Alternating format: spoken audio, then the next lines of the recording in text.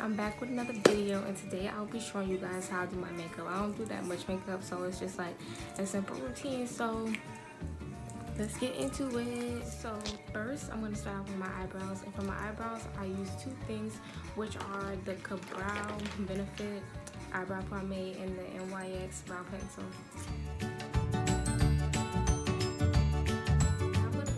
Conceal with the MAC foundation and the Pro Concealer. I mix them together because the concealer is a little too light and uh-uh.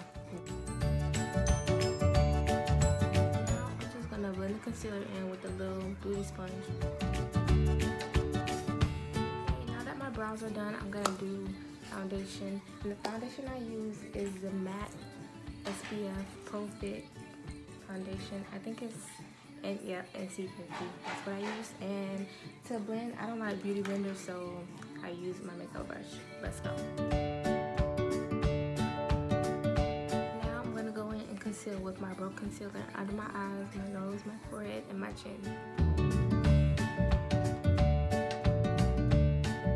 Now I'm gonna go in with my MAC powder and brush it all over my face so I won't be greasy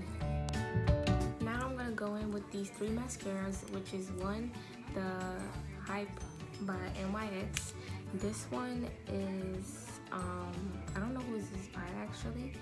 My mom bought me this. It's just a regular mascara. And then I'm gonna go in with this one, the Jolie Couture. This one.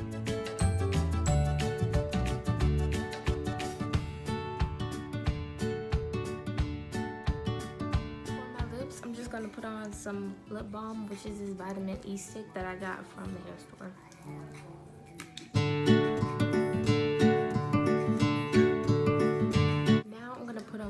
This blush. I think I want to do the orange one today.